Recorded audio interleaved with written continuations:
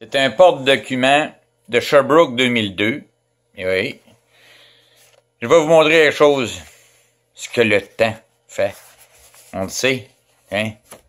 Le carton est devenu plus sec. Fait que je suis venu pogner le... Hey, ça s'est déchiré.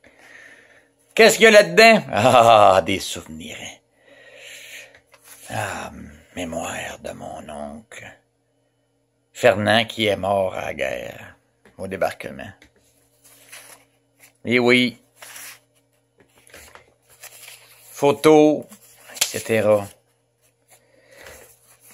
Des lettres. Oui. Même de ma grand-mère. Et qu'un. Encore et encore.